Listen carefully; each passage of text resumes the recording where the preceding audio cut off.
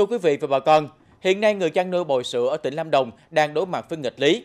Giá thức ăn chăn nuôi thì tăng, nhưng giá thu mua sữa thì lại không tăng.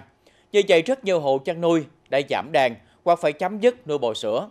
Thực tế này đã và đang diễn ra tại nhiều địa phương ở Lâm Đồng và sẽ còn tiếp tục diễn ra với quy mô lớn nếu ngành chức năng không có các giải pháp kịp thời, hiệu quả để hỗ trợ người chăn nuôi.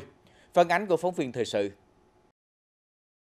Với hơn 20 con bò sữa, mỗi ngày gia đình bà Lê Thị Thơm có thể thu nhập hơn 1 triệu đồng sau khi trừ các chi phí. Nhưng thời điểm này, mức thu từ 20 con bò sữa này chỉ còn hơn 300.000 đồng. Hiện nay tất cả các loại thức ăn chăn nuôi bò đều tăng, từ thức ăn sơ thô cho đến các loại ngũ cốc khô. Tạm đất bắp bể đất, cả đa đi thì mình đi hồ đây bán đây, đây nha bán rồi, hồ nuôi chục con trở lại là bán hết. Với chi phí ngày càng cao cho việc chăn nuôi, nhưng giá sữa vẫn được các công ty thu mua dao động từ 11 đến hơn 14.000 đồng một ký.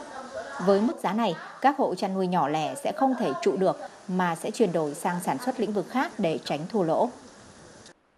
Cầm cự không nổi nhưng bây giờ giải thể thì bây giờ mình làm gì? Tất cả mọi thứ bây giờ mình có sẵn. Cũng ráng trụ nhưng mà đợi sữa lên nhưng mà không biết có lên hay không. Với hơn 100 con bò sữa, chị Nga cho biết với nghịch lý là giá thức ăn chăn nuôi tăng cao, giá sữa vẫn giữ nguyên 14.000 đồng một ký, thì việc giảm đàn, bán đàn là tất yếu trong nay mai và sẽ diễn ra ở diện rộng. Để cho cái ngành bò sữa phát triển ổn định thì chúng tôi cũng kiến nghị đối với các cái doanh nghiệp các đơn vị thì là uh, mở rộng xây dựng thêm một số cái nhà máy thu mua sữa tươi, uh, chế biến sữa tươi hoặc là nâng cấp mở rộng đối với cái nhà máy đang có sẵn thì uh, để tạo được cái nguồn đầu ra ổn định cho cái vùng nguyên liệu sữa tươi của Lâm Đồng để hướng tới là phát triển chăn nuôi bò sữa một cách bền vững hơn. Hiện nay tổng đàn bò sữa của tỉnh Lâm Đồng đạt trên 25.000 con, tập trung tại huyện Đơn Dương, Đức Trọng, Lâm Hà, Di Linh, Bảo Lâm và thành phố Bảo Lộc.